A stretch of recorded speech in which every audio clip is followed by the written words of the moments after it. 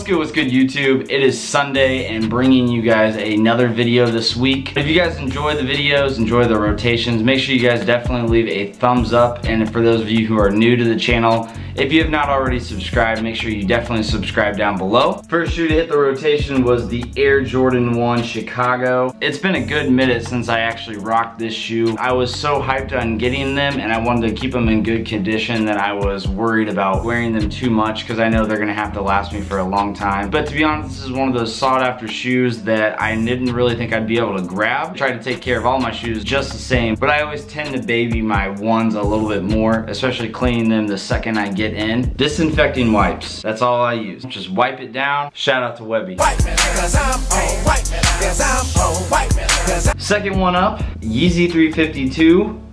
352. 350 V2. Besides doing the review, the on feet, this is the first time that I actually wore these out. Don't know if you can tell or not, insole is completely out. That is the only way I can rock these because every Adidas Yeezy so far has run huge. I never thought these would run small. I'll know going forward, especially with the three or four releases, hopefully get lucky on one of those, if not two or all of them, but at least I'll know to go up to a size 10 and a half so that I can leave the insoles in. Having the insoles out and being able to walk on the Boost material itself is pretty nice. It actually feels great. Next up, when this shoe released, I remember being so hyped on getting it. It actually sold out the morning of release, which is crazy to think about, especially for those of you who are pretty new to the game. You probably don't even buy Nike SBs. SBs kind of had its downfall. I mean, obviously they will always make its way back up and a lot of people still rock with them, but I have a few of my own, but for some reason this colorway sticks with me the most. And just the materials and how it looks, it is just crazy. It looks just like that in person too. I don't know, it's just the way that it's set up. And you can't go wrong, especially with the gold on the Nike in that back tab. Nike SB Dunk Low Premiums in the Beijing colorway. And the dark translucent sole, make sure to keep them pretty clean clean. Another fan favorite, and actually the only Ultra Boost that I wore recently, and this is the 3M colorway from the 1.0s. When I say 1.0s, I'm referring to the Prime Knit. It's not the 1.0s in the sense of the bottom because you see the Continental sole.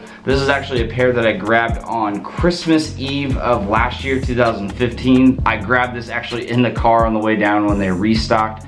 People were telling me the prices on these are going for really, really high. I obviously don't pay attention at all because I had no idea that they were in the 300, 400 range. If I knew that, I probably would have tried to grab another pair. But yeah, this is the 1.0s or the 3M. I'm just already prepared for how much money is gonna be spent in 2017 with these 3.0s. I expect a ton of Ultra Boost pickups. It's gonna be really hard for anybody else to compete. don't even have the LeBron 14. Who knows when that's even gonna come out. And then Jordan's gonna obviously have their big hits with like the Royal ones, hopefully the Shadow ones, and a few of the other Jordan colorways, but for the most part, Adidas is gonna be killing it. Only two shoes left in the rotation, and this is the Air Jordan 4 in the Bred colorway. Jumpman from the 2013, and this was actually the Black Friday release. I remember I actually got this on Dick's. I got a size nine and a half. My foot grew over the last three or four years, and actually I am TMCII. He had a double up pair, and this is the size 10 that he actually sold me. I put a video up on this like when I first moved into this place. I only wear these maybe once every two months. This is one of my favorite Jordans of all time, especially the four. This is by far the best colorway. So I had to bust this out for a little bit. I actually only ended up wearing it for like an hour or two. I wore it to go grocery shopping. Anything over that much time, I'd rather just be wearing Ultra Boost. Sick colorway nonetheless. The Air Jordan 4. For part two of Sunday, this is the other pair that I wore. Air Jordan 1 in the metallic navy. What else is there really to say about this shoe? Obviously the OG treatment they give it with the Nike Air, no Jumpman, plain white is super, super dope. I actually think with the light blue jeans, this looks great on feet. The ones that I wear from H&M have great stack to them, especially with the Jordan 1s. That's usually how it looks, especially when I'm walking around. So that is by far my favorite pair to wear with these. Another one of those shoes that I've had for